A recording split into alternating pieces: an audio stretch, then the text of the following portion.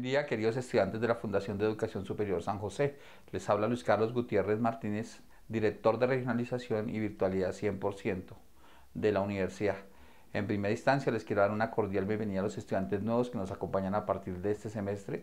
Espero que encuentren en la Fundación San José un espacio de conocimiento, de formación, de integración cultural y evidentemente un espacio de formación en su futuro profesional a los estudiantes antiguos, retornar nuestro compromiso de calidad y compromiso como lo hemos hecho durante los últimos cuatro semestres y invitarlos a que ya cerremos este ciclo, las personas que entran a nivel técnico, sabemos que tenemos un desafío enorme para la regional, que son los primeros graduados de la regional FUNSA. Para los estudiantes 100% virtuales, como siempre lo ratifico, la invitación a hacer sujetos activos dentro del proceso de formación en la educación virtual. Es un componente de dos vías. Recuerden que tenemos unos canales de comunicación.